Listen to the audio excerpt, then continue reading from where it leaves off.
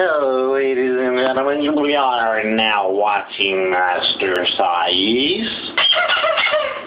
And on today's show, I am going to show you what to do if um, your inks dry out. Like, if you live in a dry climate like New Mexico, uh, if you accidentally leave your bottle cap off or whatever, and your ink dries out, and tattoo inks can get expensive, and well, they last a long time, so I can understand why, you know, ten dollars a bottle. You know, getting ten colors and cost you like a hundred bucks. But really, you just need the five basic seven colors or whatever. You don't have to go and buy all kinds of elaborate colors unless you don't know how to mix color. Um, I mix most of my own colors. So this is what I'm going to show you today, how to uh, save your inks, because I used to go to tattoo parlors when I was a kid and I used to ask them different things like, how would you get your inks? And most of the tattoo parlors when I was growing up, they used to get their inks in a powder form, but nowadays they are already pre-mixed. Um, if you don't like like certain yellows, like especially StarBrite's yellows or other people's yellows can be a little thin, um, you can leave the cap a little bit loose for a few days and that'll thicken it up. Um, if you want to thin it out, like I'm going to show you today, this bottle right here, this bottle right here, this bottle right here, at this bottle right here, yesterday, this bottle right here was all fucking hard, like, and now it's like, I, I could use it again. You can hear it inside of there. Like, like I'll even open it up and show you. I don't like doing this show without gloves because so so see, it's still good. Um, what you use is you can use alcohol. This 100% alcohol. 100%. That's funny. You can rubbing alcohol. You could use regular rubbing alcohol. Um, or you can use what I like to use, and that's witch hazel, and it's got alcohol in it. But I like witch hazel better because it's for relief of minor uh, skin irritations due to minor scrapes and exit bites and stuff like that. And it's got 4% alcohol in it.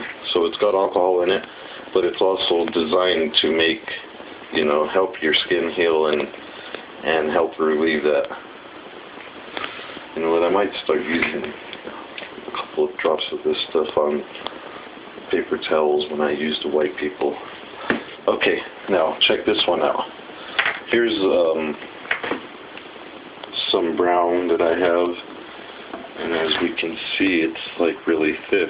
Let's see, it's probably so thick, let's see if it'll even pour out. So,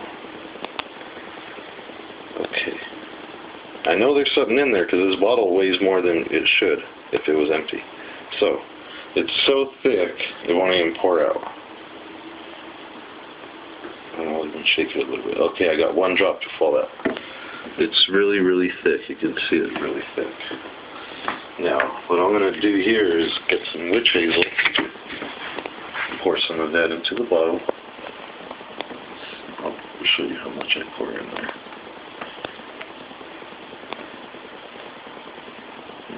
few capsules. Maybe like not even halfway. Let's see inside there. Okay, maybe like a little over a quarter, almost a third way up. Screw on the top. And I'll hold the finger right there when you're shaking it. And also, another good thing to do is rinse it off before you start shaking. Shake it off underwater like that.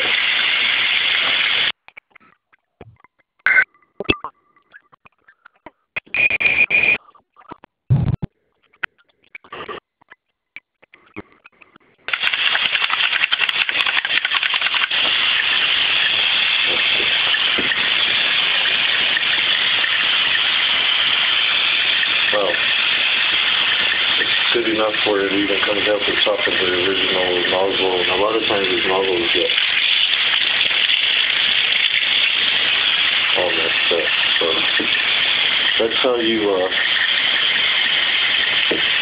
save your inks when they dry out. That's how you uh, save your inks when they dry out by Master Sais. If you have any other comments or questions, throw it down on the box. Throw a little thumbs up.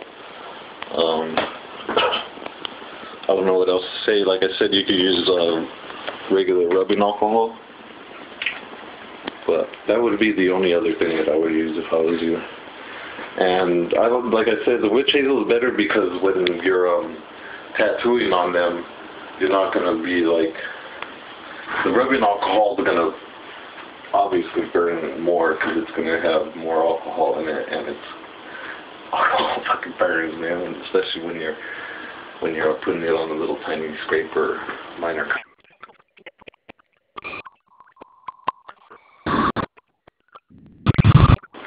Or your clients, whatever you want to call them. Peace out. That's how you get her done by Master Sais.